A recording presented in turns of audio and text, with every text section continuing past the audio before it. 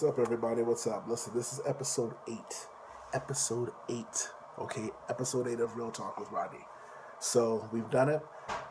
we passed that week threshold, the seven day threshold. So we're looking good. And I want to say thank you, thank you, thank you, thank you so much for joining me, for watching me, for following me, for inspiring me, for celebrating me, for being by my side, for having my back. I appreciate you all. So thank you very much. Now, with that being said, I want you guys to carry that over right into that journey that I'm doing on Periscope. And you can hit me up at the same tag, Mr. Rodo Smith, um, M R R O D O Smith. And I'm just going to say this, I'm going to leave you guys with this for a few minutes.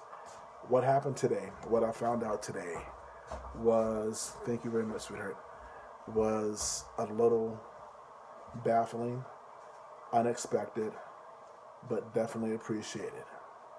Why? Because today's that weigh in, baby. Today's that weekly weigh in. Now, here's what I was looking at as far as my nice weight loss last week. Take a look at those numbers for me, real quick. Okay? Now, drum roll, please.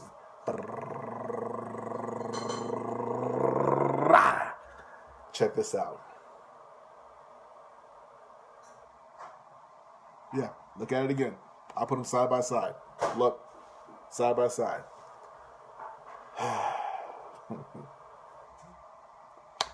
little, little shocked myself.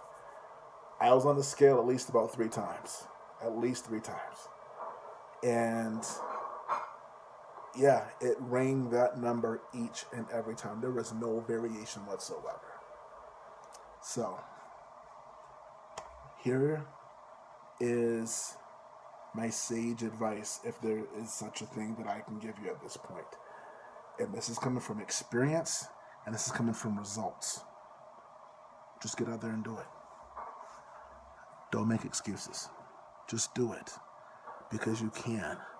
Because I believe in myself. I just I just needed some guidance, right? I just needed some some accountability, some guidance, a plan of action, you know, and support whether it comes from myself or somebody else.